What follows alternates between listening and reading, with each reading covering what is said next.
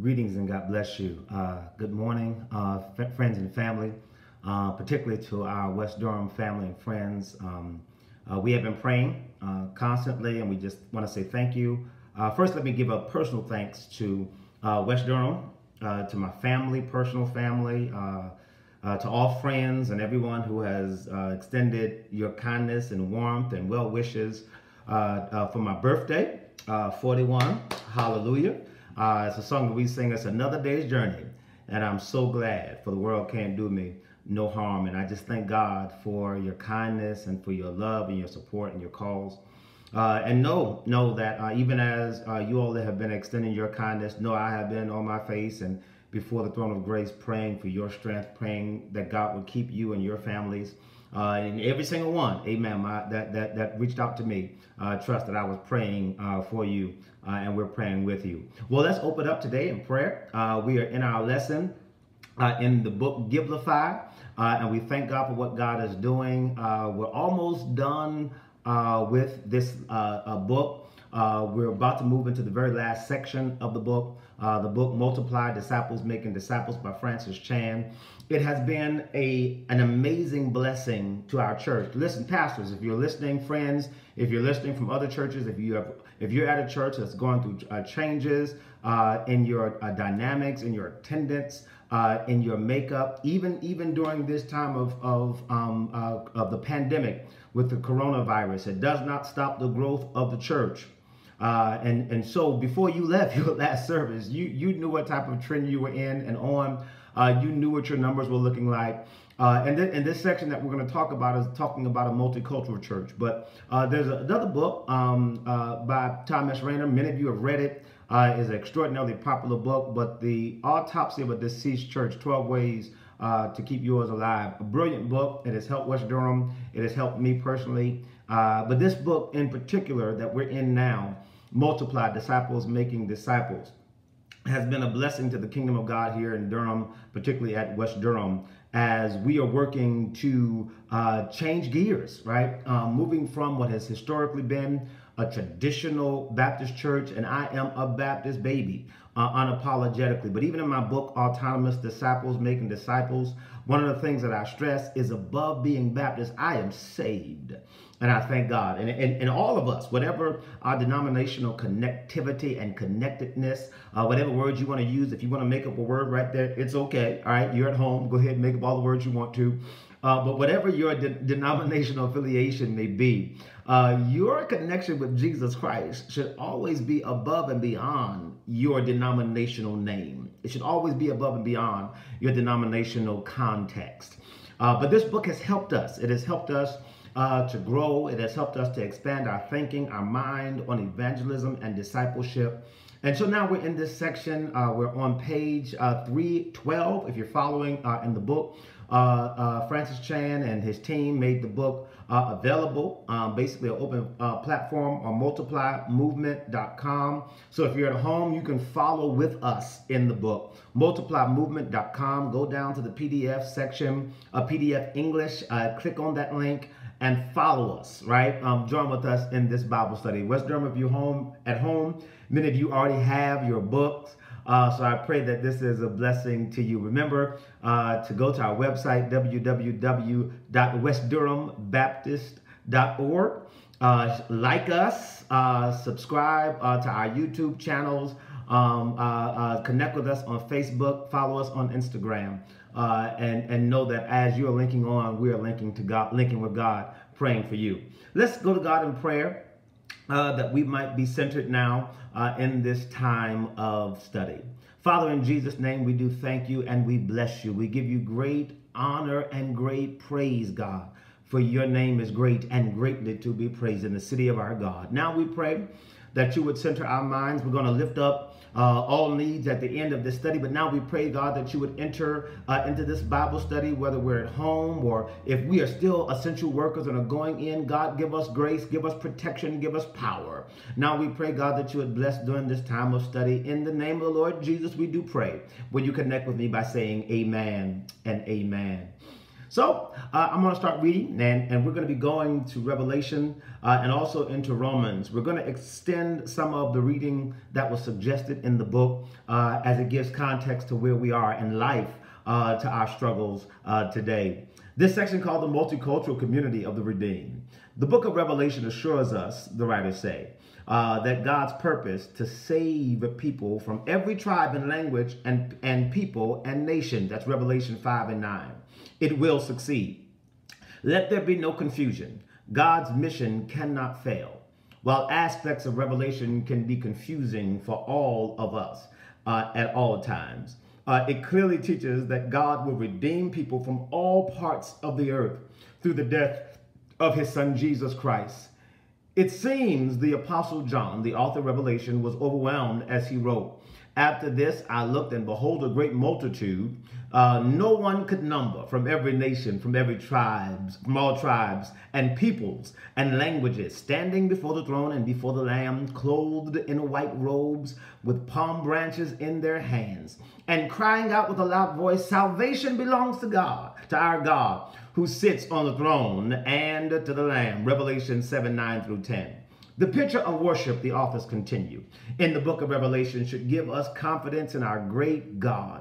All authority belongs to him and his plans always succeed.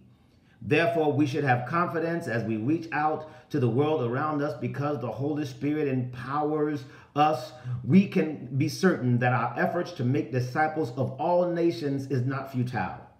With God on our side, victory is assured. If God is for us, uh, who can be against us. And we're going to go back to that um, um, uh, Romans 8 and 31. Even when we are rejected and endure suffering for our witness, God is in God is completely in control. The power of the gospel will ultimately prevail. Uh, and, and it says, uh, concluding in this one section, so pray and share and rejoice in the Lord Jesus Christ. This section is uh, uh, crucially important to churches um, uh, like West Durham, uh, which have historically been uh, majority African American, and others in our country that have a majority single race or single ethnicity that attends. And so I appreciate what the author is saying here is is what heaven is going to look like, right? When we stand before the great uh, uh, that great beam, great great throne of God, um, what what is going to look like, right? Uh, it's not just going to look like um, uh, the separation and segregation that we have here, particularly in the United States and other um, large uh, countries and nations but it's going to be diverse. It is going to be all nations, all tribes, all people, all of us coming together. We see that also in Acts uh, in at the on the day of Pentecost. That's that's what the Pentecost was about. It was about his spirit. It was about the power of God. And understand this, don't be confused in thinking that the Holy Ghost was introduced uh, to the people of God or to his church in Acts. That is erroneous, right? The Spirit of God has always been there God, Father, Son, and Holy Ghost, right? We see that already in Genesis 1. Amen. We see it more clearly in Genesis 2. Let us make man in our own image. We see it throughout the Old Testament uh, uh, with with uh, theophanies and Christophanies, theological terms, absolutely. Uh, but they but they talk about this pre-Bethlehemic experience and encounter with the Lord Jesus, the Lord Jesus showing up in the Old Testament, and then now we see in John, Amen, and the Gospels. But we also see the Spirit of God before Jesus ascended. He breathed on the Holy Ghost. That word pneuma, uh, he breathed uh, and they received uh, the Holy Ghost. He pre- breathed, excuse me, on his disciples, and they received the Holy Ghost. This was before uh, he was taken to Calvary, before he died and was raised with all power. And of course, before they met in that upper room in Jerusalem, they received the elders, the leaders, the disciples who would then become apostles had the power, right? And so we see this uh, manifestation of God's glory in Acts, right? Uh, where there is not just one race, it is not just race, it's not just a white church or the black church or Middle Eastern church, right? Um, uh, it is not just a Roman church or a Jewish people or ethnicity um, that are meeting with God for God, but it is all nations. It is all nations. The one thing I am thankful for with West Durham, uh, and I give God praise for this, is that we're seeing um, diversity. We're seeing an openness um, of, of, people uh, who are not necessarily African American American, and I thank God for that. Right now, don't get me wrong, I celebrate God for the rich history of the black church. And understand when we say the term black church, that is not an exclusive term. Uh, there are some thin minded theologians and people who will try to argue against the term black church. It is a historical designation, right? When we could not, when African Americans could not attend other churches, and or when we were allowed to come to a majority church church and only sit in the balcony, right? When we were seen as a third of a man, as second class citizens, or as cattle, um, uh, we would go down to the brush harbors, our ancestors, Africans, right? Those who come from the continent of Africans, that um, um, um three million, uh, uh, whatever that uh, million uh, number of slaves, multiple slaves, multiple millions of slaves came over here starting in 1619. Um, and, and, and we were here and had to experience experience a new reality. But yet, God, understanding this Christ in a new way of being introduced to Christ, um, uh, through a uh, colonized experience, through the hardship of slavery, when we didn't have anywhere else to go, when it was just us and only us, right? Uh, we worship God and God met our people uh, and so many predominantly black church. And that's why we use that term predominantly and not exclusively. The same thing is said about historically black colleges.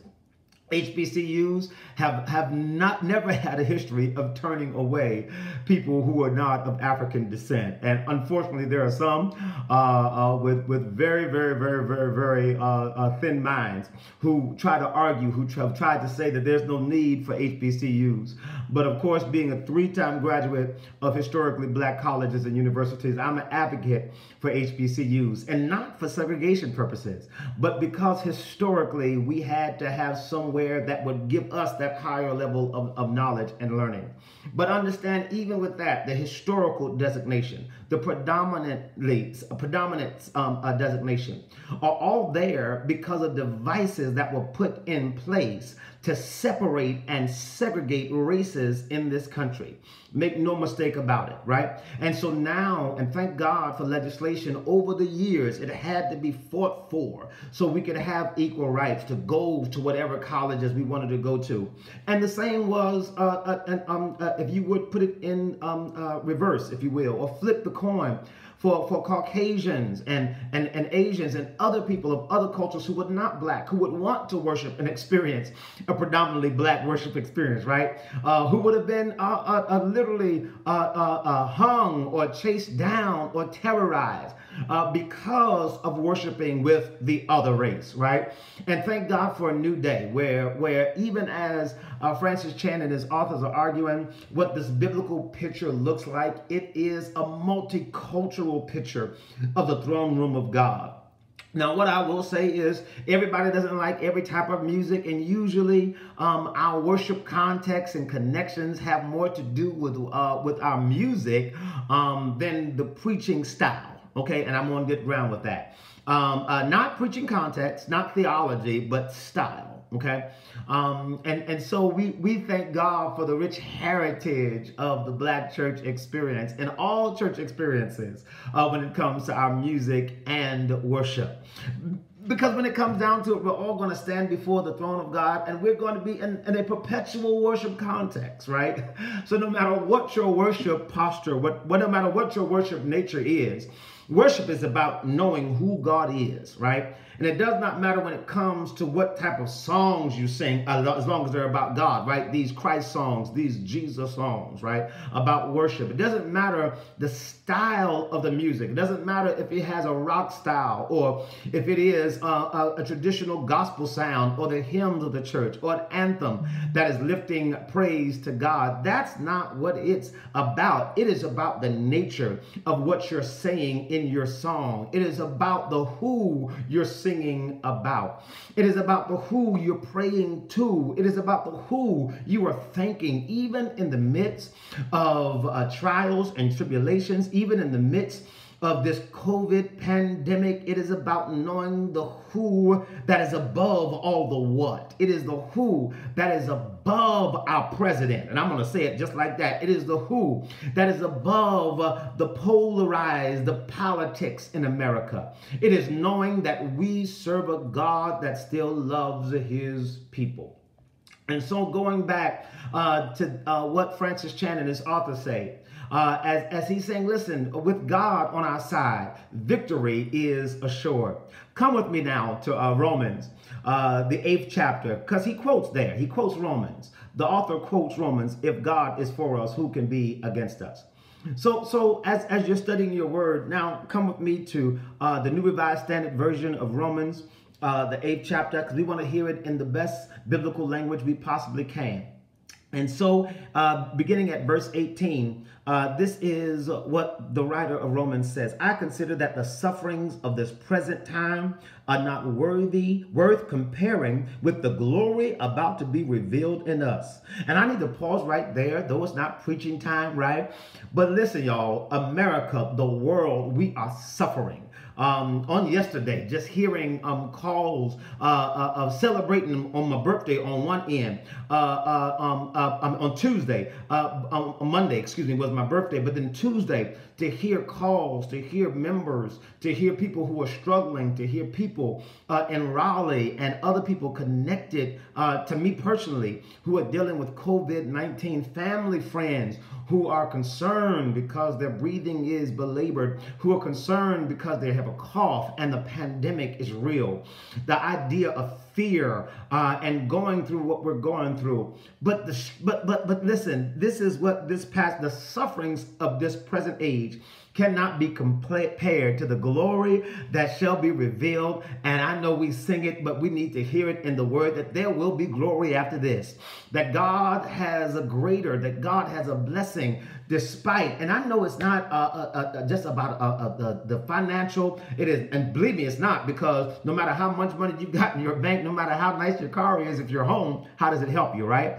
Um, it, it is about knowing the glory and the blessings of God God. The blessing of the Lord maketh rich and addeth no sorrow. But understand that riches, those riches of God, are not monetary alone, right? The fact that you have life, if you have a reasonable portion, and that reasonable portion means something today. Uh, my mother and my father used to pray that we had a reasonable portion of our health and strength.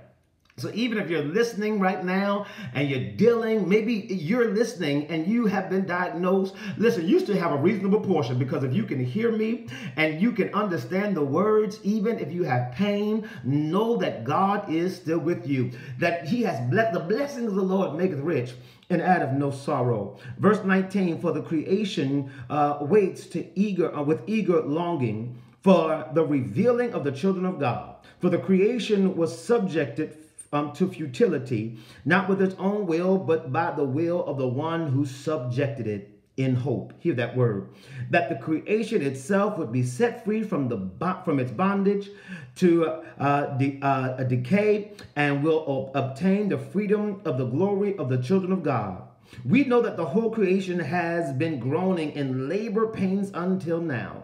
And not only the creation, but we ourselves who have the first fruits of the Spirit hallelujah, groan inwardly while we wait for adoption, the redemption of our bodies. For in hope we have been saved. Now, hope that is seen is not hope. Now, listen to this because this is crucial. Hope that's not seen is not hope.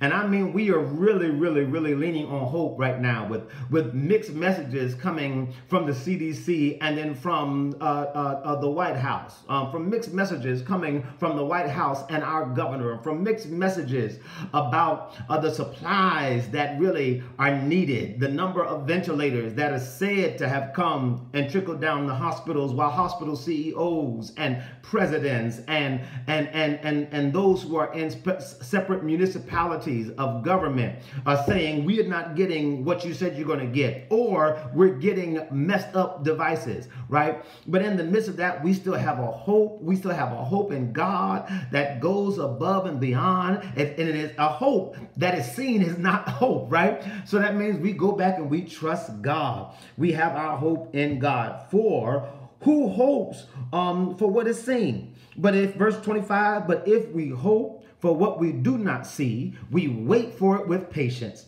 And I know that's rough right now when we've got people sick and dying around us. But listen, saints of God, you hope with patience. You trust God with patience and you keep on doing, right? You keep on uh, practicing social distance. Don't listen to some of these pastors and preachers, and I'm going to say it openly and publicly, who are outright defying the law. And I believe if you got to come uh, and, and, and you can't sit home and connect with God, you ought to go back to the altar and really check your faith because God is, and this is this is the word of God, people. He is not confound um, to houses of worship, to bricks and mortar, right? To your steeple-fied church uh, uh, uh, body. Uh, because if we are the body of believers, we're still the body of believers connected by faith online connected by faith. If we do a phone call, we are still the church and the church cannot be uprooted by a pandemic. Hear me good. The church cannot be uh, uh, misplaced or moved by COVID 19. Uh, verse 26 likewise, the Spirit helps us in our weakness. For we do not know how to pray as we ought. But that very Spirit intercedes with, the, with sighs uh, too deep for words. And God, who searches the hearts, knows what is in the mind of the Spirit because the Spirit intercedes for the saints according to the will of God. So know that even right now, if you're home and you're saying, well, listen, I, I'm not a preacher, I'm not a pastor, I'm not a bishop, I don't have no title, I'm not on the prayer teams. But listen, God, God can still hear your prayer.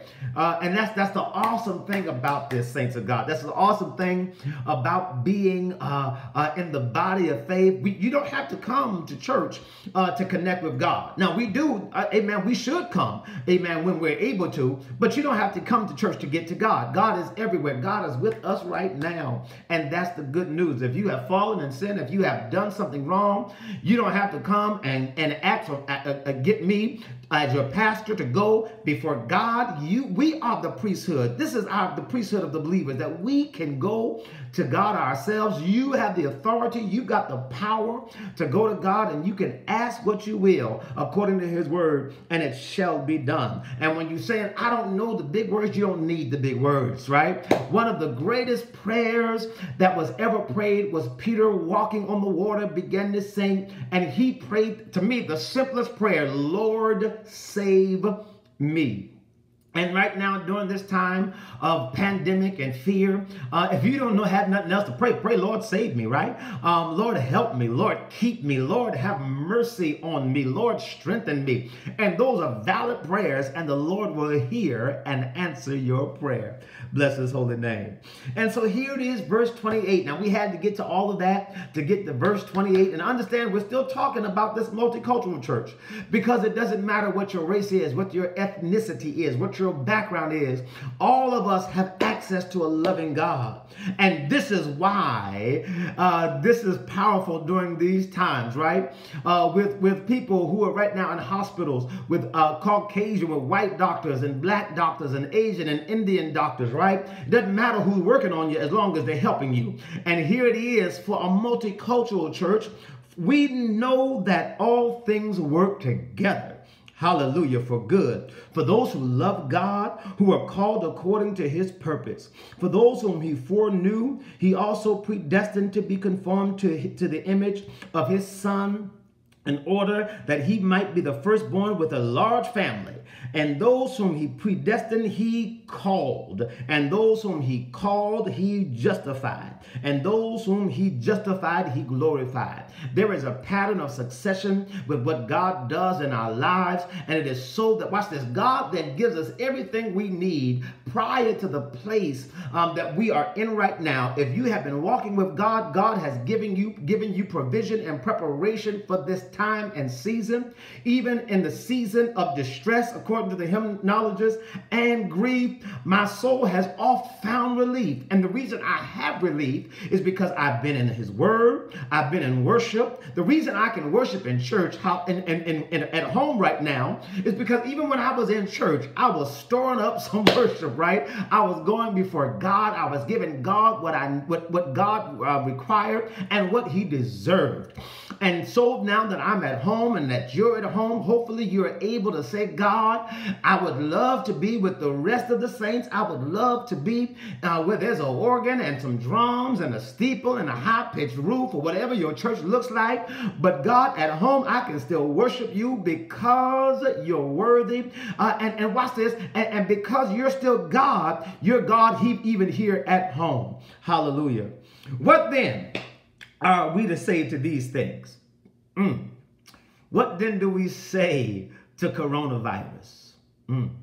What do we say to COVID 19? What do we say uh, to 3.3 million people filing for unemployment? Uh, uh, even more, even more now. What do we say? What do we say to over 100,000 uh, persons, believing uh, for that number to go over 200,000 persons uh, who will contract coronavirus? What, what do we say to, to literally thousands of deaths? What do we say to these things? If God be for us, hallelujah who can be against us? I'm going to say it again. If God is for us, who can be against us? The literal translation it says, Who is against us? Um, who is it that can stand between us and God's favor and God's will? Uh, he who did not withhold his own son, verse 32, but gave him for all of us, he will not uh, with him, um, uh, will he not with him also give us everything? Who will bring any charges against God elect? God's elect. It is God who justifies. Who is to condemn? It is Christ who died, yes, who was raised, who is at the right hand of God, who indeed intercedes for us. This is powerful, saints. That even in the midst of what we're going through, this multicultural church, this church uh, without racial borders, without racial or ethnic walls, We've got somebody that is fighting, somebody that is interceding, somebody, hallelujah, that is praying for us even right now. And not just in glory. No, you got somebody praying for you right now. That there is somebody who's got you on their mind. There's somebody you've come in contact with. And even if you don't have, you feel like you don't have, you got me right now praying that the Lord would do. If you're listening to my voice, know that I am praying that God will meet you where you're at. That you'll know that you're not alone, that you're not isolated, that you're not by yourself. That you can be reminded that the joy of the Lord is still your strength. So here it is. Who shall separate us from the love of Christ? Or hardship? Or distress? Persecution or famine or nakedness. Here's the word apparel or sword. I'm going to add or corona virus or COVID 19 or bad politics or pandemics or crisis. What will separate us? As it is, as it is written, for your sake, we are being killed all day long. We are counted as sheep for the slaughter. No, I, I, like I like how the New Revised Standard Version. We have the King James Version that says nay, right? But I love it because it is an outright word that we have in our English vernacular that we use. No, right? No. In all things, we are more than conquerors through him that loved us. Please hear this and receive it from his word. For I am convinced. I know the King James Version said I'm persuaded, but I love this direct language of the original text. I am convinced that neither death, nor life, nor angels, nor rulers, nor things present, nor things to come, nor powers, nor height, nor depth, nor any anything else in all creation, in all creation, in all creation, will be able to separate us from the love of God in Christ Jesus. Friends, that's our time, but don't let anything separate you from God. This is this is a hard time. We don't, we don't have to deny that. We don't we don't have to be uh, uh, uh, pandemic deniers, right? We don't have to be like like some who are who are really really really um, uh, troubled in their mind and in their spirit and and really confusing people. We don't we don't have to deny what the pandemic or what the virus is, but nothing should separate us from the love of God. God still loves us. God is still with us. God is still here for us. And even in times like this, this is where we tap into our faith. And I'm going to say it again. If you're going through and you're hearing people, you're hearing voices, you're seeing uh, things um, uh, on your on your time uh, uh thread, on your um, uh, timeline, excuse me, or anything else that looks like it, you answer like the writer hit no. In all things, we're more than conquerors. And know that even as a multicultural church, multicultural church, as God is expanding his church, don't allow the enemy to push rewind. Don't allow the enemy to bring in separation and segregation and classism and casteism to separate us. Don't allow the enemy to separate us by the pigment and the color of our skin. Oh, that was a trick of the enemy. And it was a trick that worked for a long time. Don't allow the enemy to separate us by our hair. Y'all see, I need to cut my hair, right? Y'all see my grays today. But don't allow him to, the enemy to separate you by whether or not your hair is smooth or kinky, whether it's curly or blonde or brunette or black or gone, like mine will be in a few hours. Don't allow the enemy to separate us. God is a God that loves us, and we give God our souls, and we're saved and we'll stand before God faultless because Jesus will present us faultless before his throne. Friends, everything is going to be all right. I'm fully persuaded. I'm absolutely confident that God's got you, that God has us. Let's pray together that God will allow us now not to just be hearers of his word, but to be doers of his word. Let's pray that God will be with us, that God will show us his manifested glory and power and healing during this time of COVID 19. Father, now in Jesus' name, I connect my faith with all those who are listening uh, during this broadcast. I know it's not a broadcast, God, but during this clip, during this time of videoing, God, that we can share your grace and your mercy with somebody listening. God, give us your strength, give us your power your healing virtue. God, again, we pray for those who are on the front line, God, those who are already dealing, who have already been uh, uh, diagnosed with uh, COVID 19. God, you were wounded for our transgressions and bruised for our iniquities. The chastisement of your peace was upon, of our peace was upon you, and by your stripes we are healed. So we believe you, God, for your healing virtue. God, we pray, God, for those who are dealing with anxiety and angst and anxiousness during this time. We pray, God, for families, for marriages, God, for relationships with fathers and sons and mothers and daughters and fathers and daughters and, and, and all family ties, God, that are now confound to houses together. God, we pray that you would intervene, God, and bring love and peace and passion and compassion during this time of, of isolation. We lift up our churches. I, I, lift up West Durham, and I personally thank you, God, for an amazing church, God, an amazing team of leaders, God, God, who have been following and walking with leadership, and I praise you for that. But God, we pray for all of our churches across the land because some are already hurting now. But we pray that you would lift them up and hold them up in the hollow of your hand. God, we lift up the president, God, according to your word, not so much that we agree with his tactics or with his rhetoric or with his uh, thinking, but God, because you said to pray for those who have rule over you. So we pray, God, that you would give him real wisdom and give those around him the boldness to help him see, God, what he needs to do and how he needs to lead this country. We pray now for the listener that you would meet every need. Bless us and we are blessed. Keep us and we are kept. Protect us and we are protected. Until we, until we gather again, God be with us. Again, friends, and we pray this in Jesus' name. Amen and bless God. Again, friends, thank you so much for uh, uh, tuning in. We pray that you will uh, share, uh, that you will keep continue to follow us, subscribe to our channel. Visit us www.westdurhambaptist.org. Um, Again, that is www.westdurhambaptist.org uh, and know that we are continually lifting you in prayer. God bless you, and God be with you.